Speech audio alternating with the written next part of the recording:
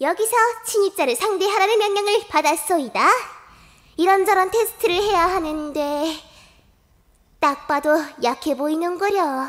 저건 무슨 마수지? 죄송합니다. 저는 모르는 마술이에요. 어서 싸우도록 하세나. 그런데 엘프들은 준비하지 않아도 되는 것인가? 혼자서도 충분하니까.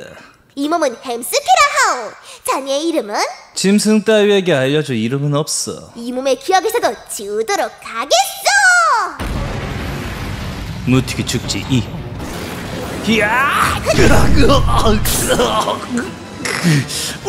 어, 이 새끼가 지금은 전사로서 싸워야 하는 고로 어쩔 수 없구려. 오지 마, 다가오지 마. 근접전으로 가겠소. 까불지 마라, 마수! 야!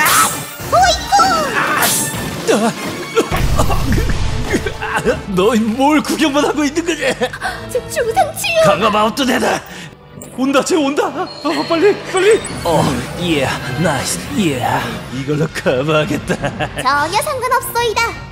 이씨, 축지. 참격이요.